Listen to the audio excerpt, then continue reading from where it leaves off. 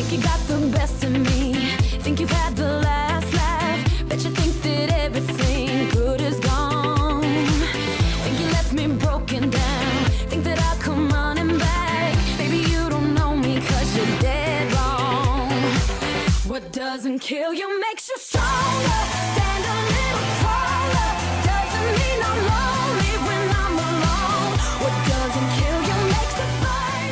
Stronger. That's Kelly Clarkson on Dan Radio Style. Hope everybody out there's having themselves a great and fabulous and let's go ahead and sprinkle some wonderful day on top of that. Uh, first off, just want to say, you know, sometimes when we get our energy going and get things kind of grooving uh, in the right path, and this is totally an aside because I just had a phone call like moments ago. It is amazing how sometimes just being good, just being kind and loving and great gratitude, as we've talked about, kindness, we've talked about in the past. Just practicing those behaviors on a regular basis may not necessarily get your SP tomorrow, might be a couple weeks, right? But you will notice some really cool things start to happen. I got a really good chance of of um, catching a sporting event on floor seats because of a relationship I've created with someone. So it's just like I just kind of hit me up out of the blue, and uh, be for me and my dad, which is super cool. So anyway, we'll see how it all plays out in the big picture, but it it should be pretty cool. Are we accidentally manipulating? Definitely a topic I bump into this a lot. A lot. It's happened to me a couple times. I've done it myself a couple times. Generally speaking, I smack myself down very quickly with it. Uh, I think there's been probably one span where I might have gone a few days being a little bit in this place and then finally realized, oh my goodness, that's what you're doing. I want to bring this, of course, to your attention because once we're aware of some of the different things we do to sabotage ourselves, it becomes easier to see them. And when you can see them, you can do something about it. And that is really the trick with this whole process. Again, self love. Yes, we want to love ourselves for sure, but sometimes there's maybe a couple things that are kind of in the way, maybe holding us back, maybe grabbing us by the collar. You know, ah, you know, it's like, okay, I'm sorry. Sometimes we have to work through that thing that's blocking us, that internal mechanism. And I know, like I said, I've seen this happen in comments and emails. I've seen this happen in relationships with people I know. Um, with, like I said, myself, I've done this before in past relationships for sure, back when I was certainly not nearly as savvy as to how energy transfers between people and how that actually affects relationships. And again, that goes back years, but it's something I've played with for years, and it's extremely powerful. So, Oh, is there something? This is one of the places where I think a lot of us have learned this, but was there something maybe when we were growing up where if mom and dad were mad at us, or if we didn't get our way, or if we wanted something and they weren't going to give it to us, that we had our kind of our way to maybe throw a little cry down, maybe pout, maybe a tantrum.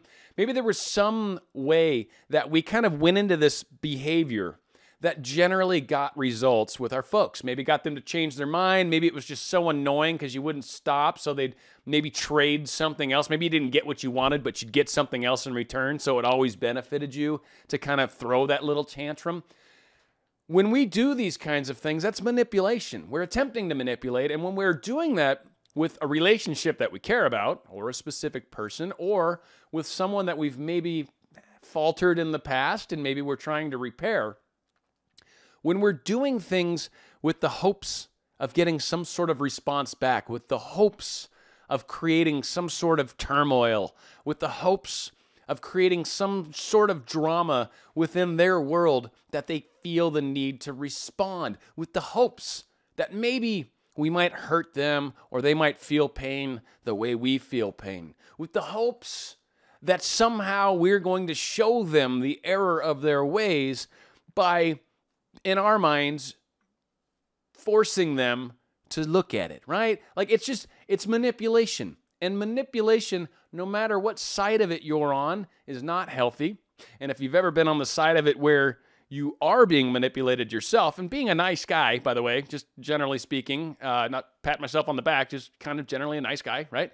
I've been, you know, taken advantage of numerous times in my life. So I am very savvy with manipulation. It's just something I see very quickly. I see right through it. I usually give people all sorts of rope. I'll just allow them all sorts of rope. Keep going, keep going, and eventually it's just like yank. All right, you're done, and I'm done, and I will never ever trust them ever, ever. It would take such a miraculous change on their part to get that trust back. It would be such an intense, purposeful approach at getting that back. So, again, if someone does that to me, they're out. Done. I don't care if they're trying to manifest me. I don't care if they're using Neville Goddard and doing everything perfectly. Trust me, done. It's just one of those things. So, we've got to be careful when we're trying to make comments to someone that is meant to elicit some sort of response. Are you, that's kind of how you'll tell. Am I about to text them this text message because I want them to feel a certain way that's, you know, like makes them understand what's going on? Um, and when I say feel a certain way, I kind of mean in the negative sense, right? If you're sending a text message because you want them to feel love, that's awesome. Do that all day long. That is beautiful.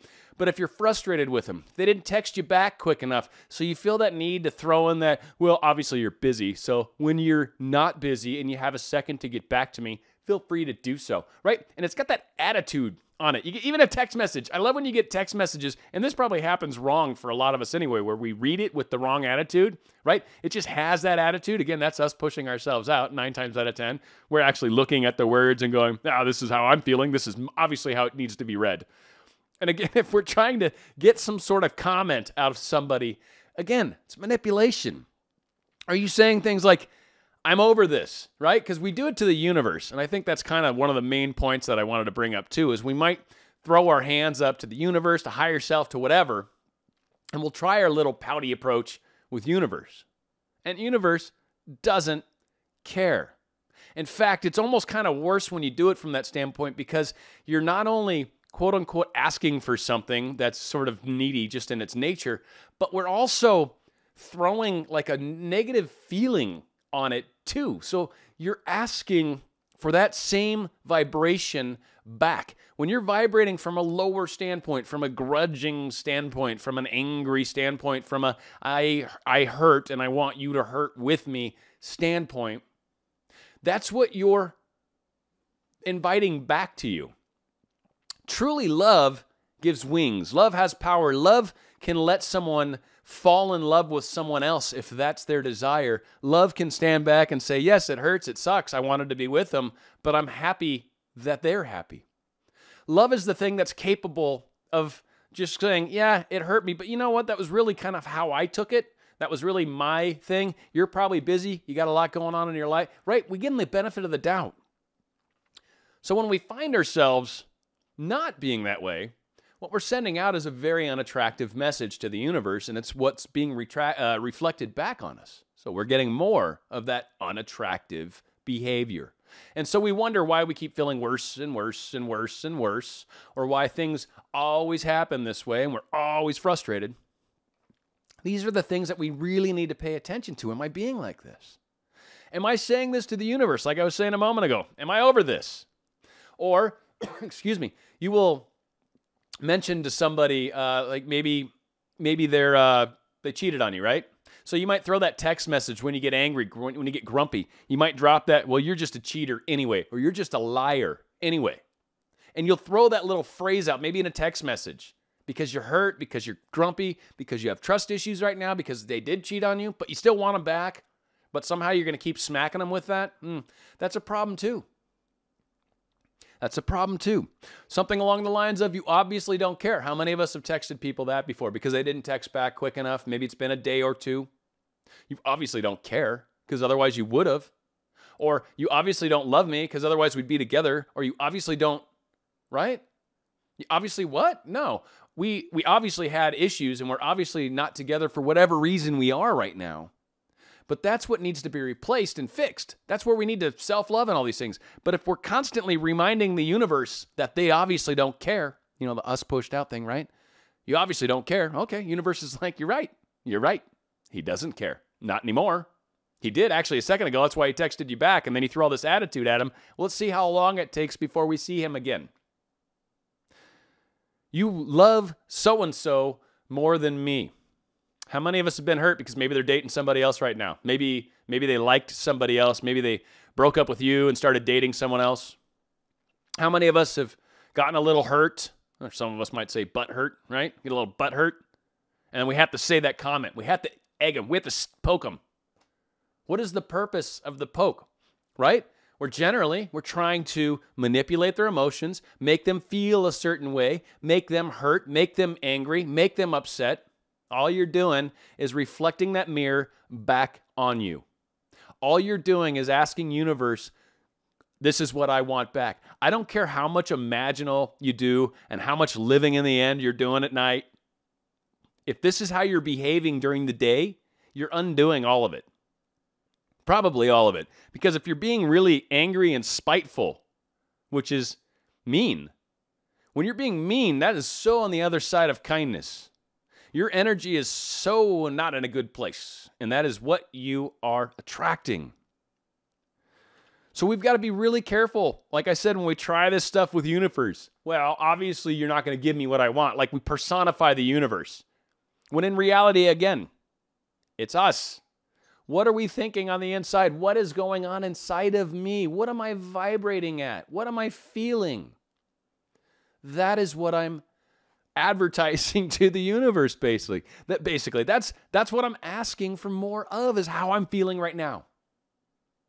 And if we can find a way to get ourselves to that good feeling place, that place that feels so good, that we actually just literally start feeling good, and then you start to notice more good stuff starts coming back towards you. More, more often, kind of like I was saying at the beginning of this thing. Being good and kind to people definitely creates really what I call positive karma. It creates positive energy. For everything that we supposedly send out, the adage always was you get back tenfold. Tenfold. Again, one of the key things about living, about our soul paths, is learning how one, we're all one, we're all together, we're all connected, how energy matters, how words and thoughts matter, how what we focus on matters. So when we send out good things, we're rewarded with good things. It's that cause and effect. Universe is very it's very easy. Granted, we're very busy and things are complex in our life and oftentimes we forget what we did to cause what we're experiencing.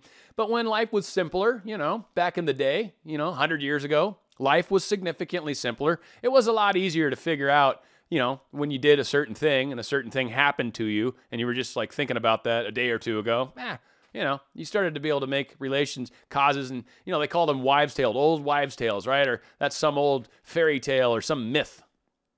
But the reality is, we're looking at a lot of these things nowadays, realizing, no, this is extremely true. So, again, the big takeaway pay attention to what we're vibrating at, what we're sending out. What are we sending out? I get you might be hurt. Again, self love. Got to go back to self love. If you're trying to initiate pain onto another person, you're begging, begging, begging for more pain to you. That is a promise. If you're pushing out negative, angry, evil, wicked, manipulative, anything along those lines, trust me, that is exactly what you are getting back. And no offense, and no offense, because especially if we don't know we're doing it, that's one thing. If we're intentionally doing it because we want to hurt them, ah, honestly, I it, I'm glad it's coming back on you.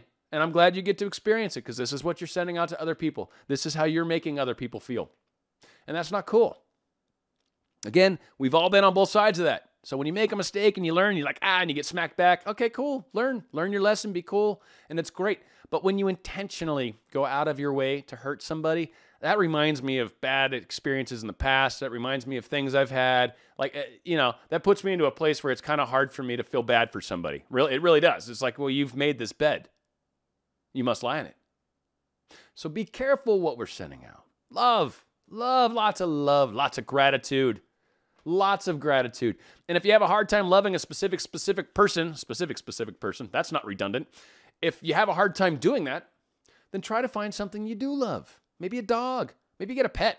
Maybe you need a pet. Maybe that's your thing. Maybe you need some sort of little mongrel running around in your lap that licks your face all the time or that purrs or whatever the whatever your thing is. Maybe like that squeaky sound of the hamster wheel as that stupid rodent just runs in circles.